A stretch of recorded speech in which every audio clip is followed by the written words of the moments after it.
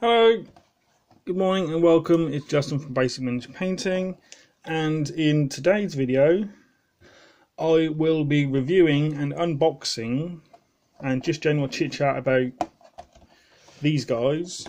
Okay, I did get halfway through filming this but then I got a phone call so I had to redo it because I'm filming this on my mobile phone. Okay, right, let's start again shall we? These guys, Fire Slayers, Vulkite Berzerkers, little dwarves, and this is the box they're coming. Okay, ten Citadel miniatures.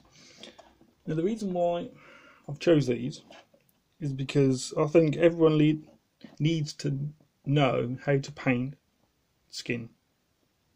It can be tricky, but I'm going to show you a dead simple way of doing it. Okay. Now, this is the box they come in. 10 Vulkite Berzerkers. Okay. Warhammer and uh, Age of Sigmar. Okay. Which is why they don't have any blasters or bolt guns or nothing like that. Because it's Age of Sigmar. And set so many thousands and thousands of years before Warhammer 40k. Right. Let's find the box. Well detailed. Nice box. Clear. You can clearly see if you want to copy paint scheme on the front of the box you can see. You got orange flesh steel color there you've got even the bases gravel the little let's call it loincloth just there shields the axes okay? Even the tattoos just see on his foot just there okay? On the back is that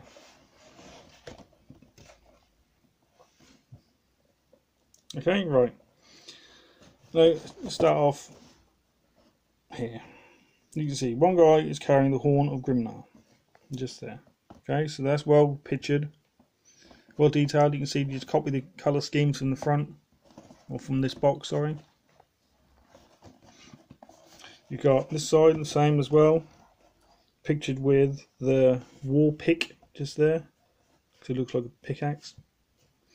Got the shield just there, which is the bladed bladed sling shield. Sorry. Even got a picture of the Ur gold runes. okay, so if you do your the guy's flesh, to make them stand out, you might be a different colour. So you can have them gold. You don't have to have them gold, but dwarves are known for the love of gold. That's why they live all in mountains and mining for gold. They love their gold. So, but you can do these as a random bunch. But they don't love gold. They love lead. So you do like a silver colour. You know, whatever you want. Another picture of the bladed sling shield. Okay. Deep reds, slightly bit of orange inside, but that's easy to do. Even the fire steel hand axe. It's there.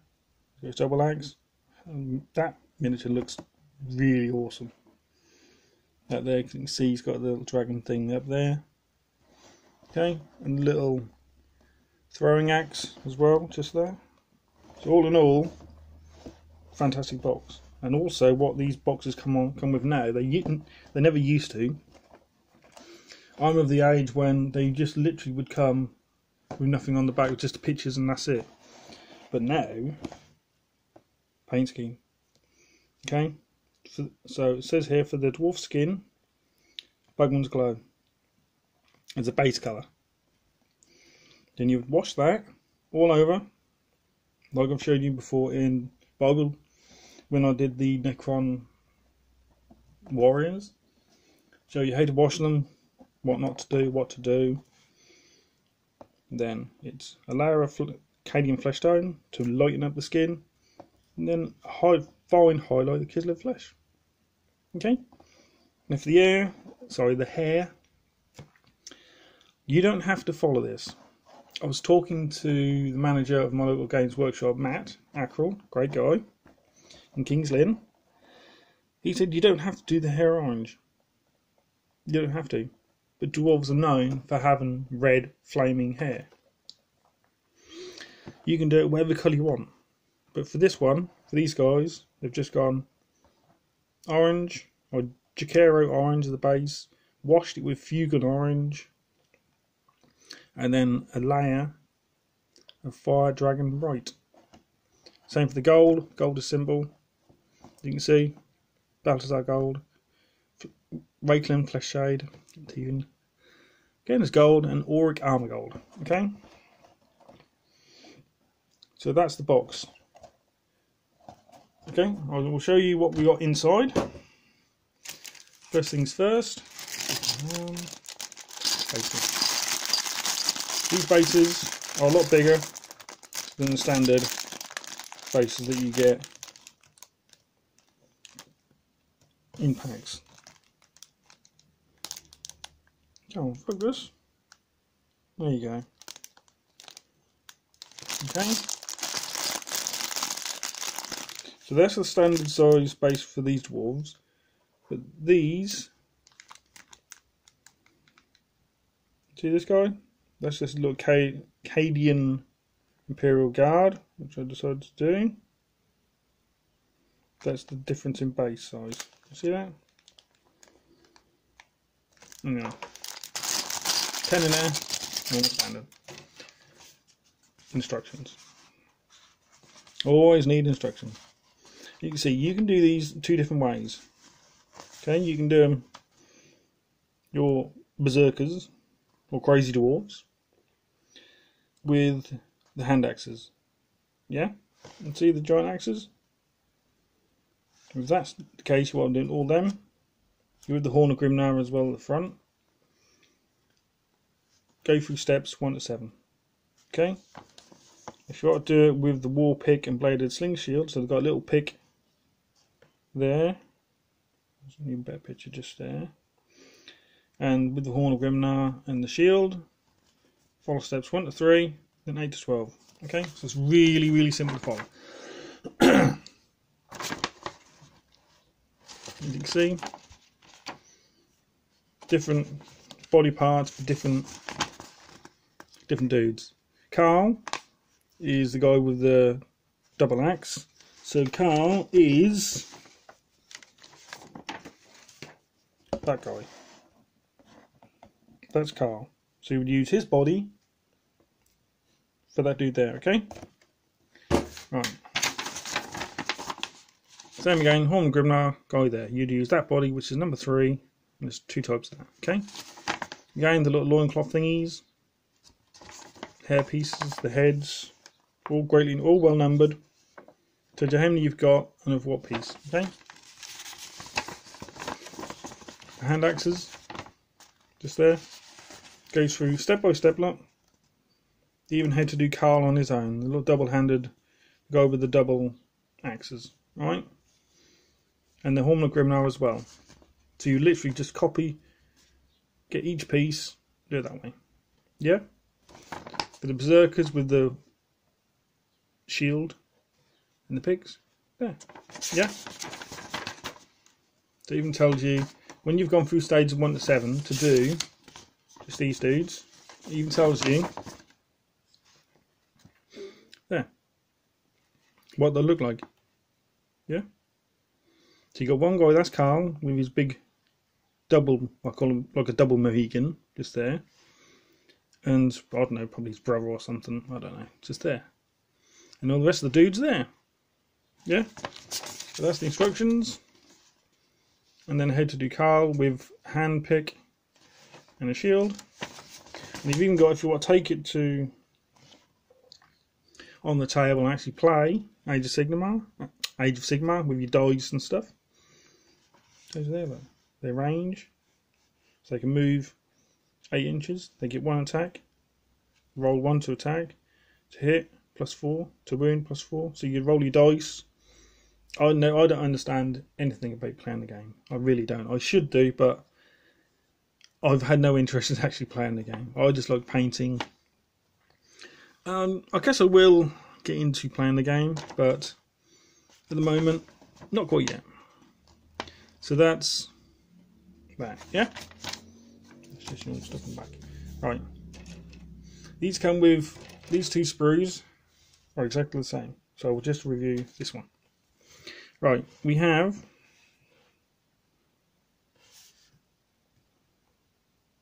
the hand picks, pickaxes, call them. Well detailed as well. Let's get a little bit closer. Which I think is what you need to do. You need to start with stuff which has fine detail. Start with the basic stuff, like I have, like with the Necrons or Space Marines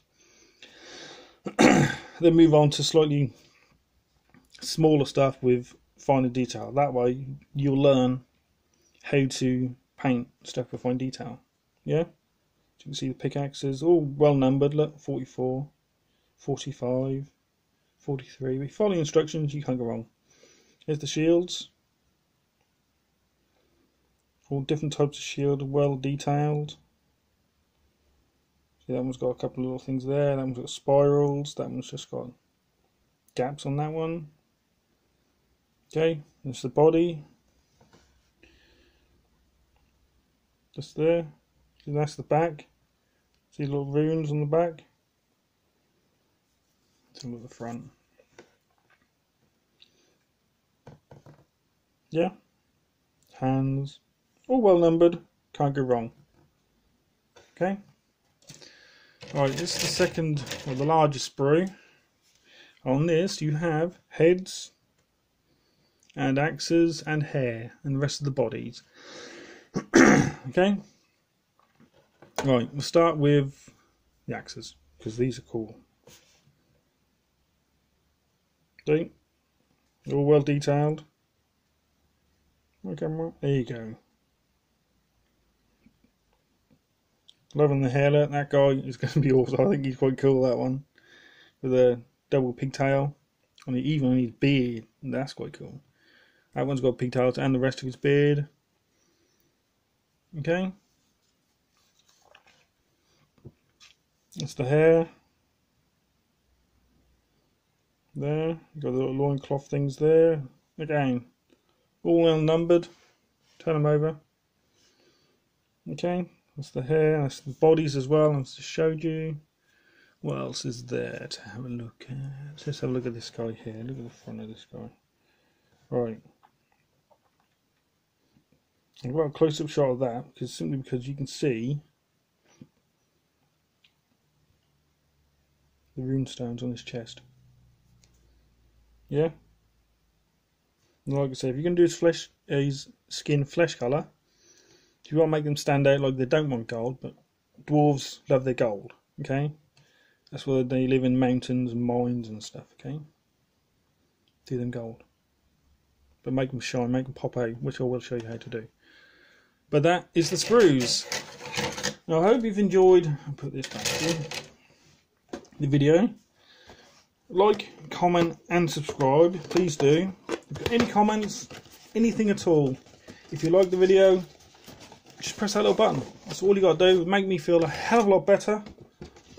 Get them likes. Love the fact that you guys watch these videos and where you watch them from. Because I had a look and there people watching from France, Germany, even had a few from Australia, which is like pretty cool.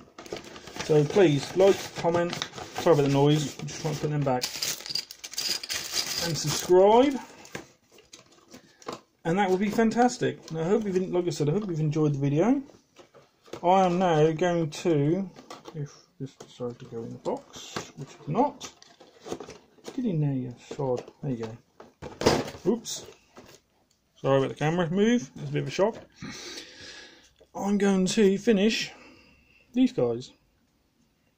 And what I'm going to do with these. Go camera. Is it going to do anything? There you go.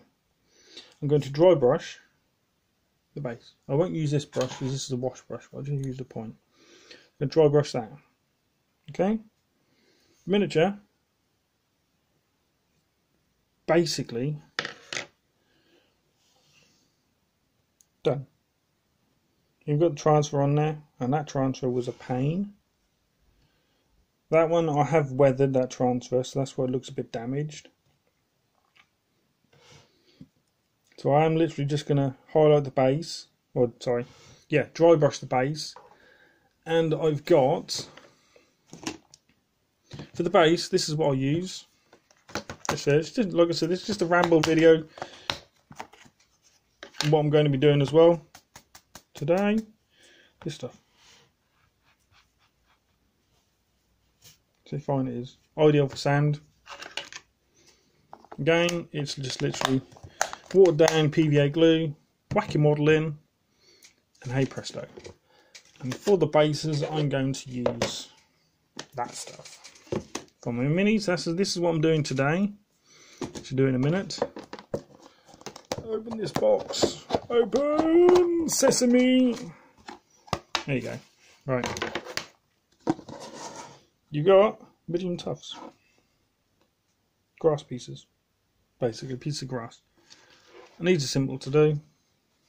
Peel it off, stick it off. That's it. You don't have to. You can glue them, but I just don't tend to because easy just because they're already stuck on. so they're not going to come off. So let's just peel it off, stick it on. It's that simple, right? But that's what I'm going to, do, going to be doing today. Hope you've enjoyed the video. Bit of a ramble towards that last bit, but like I said, like, comment, subscribe, and I'll see you in the next one. Thank you very much.